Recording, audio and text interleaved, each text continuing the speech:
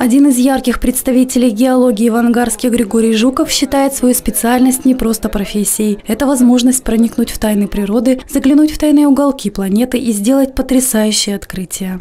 Я, собственно, в большом количестве побывал э, в разных уголках нашей Родины. Это от э, Кольского полуострова до Дальнего Востока, от э, Кавказа и до, ну, до Колымы, будем говорить так вот.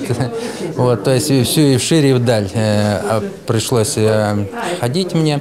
В Музее минералов Григорий Жуков открыл свою новую экспозицию, приуроченную ко Дню геолога. В ней представлены минералы и поделки из них, добытые автором в одной из последних экспедиций на африканском континенте. А фотограф Григорий Скидан подарил музею свою фотоколлекцию, посвященную известному ангарскому геологу Василию Дубровину, который стоял у истоков создания коллекции минералов. Фотограф за годы работы запечатлел на своих снимках не одну сотню самоцветов. По его словам, зачастую фото получались интереснее экспоната места. Оказалось, что люди даже лучше смотрят, чем э, камни, потому что они сочнее и э, интереснее кажется.